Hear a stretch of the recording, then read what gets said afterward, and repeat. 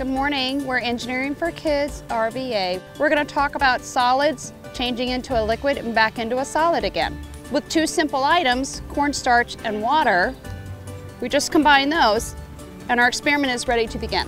And you can use a spoon or you can just use your own hand and finger to stir it up. And the mixture is now combined and has created a liquid, a white liquid. I'm going to pour a little bit in my hand, get a little bit in there. I'm going to let it expose it to air. Gradually it'll change into a solid again.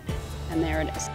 And then when I squeeze my hand, the temperature of my hand will change it back into a liquid. And this is a great exercise for our pre-kindergarten through grade two where they're developing small motor skills in their muscles, uh, squeezing and releasing.